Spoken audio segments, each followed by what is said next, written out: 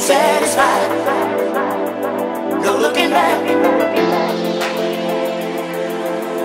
I knew right from the start.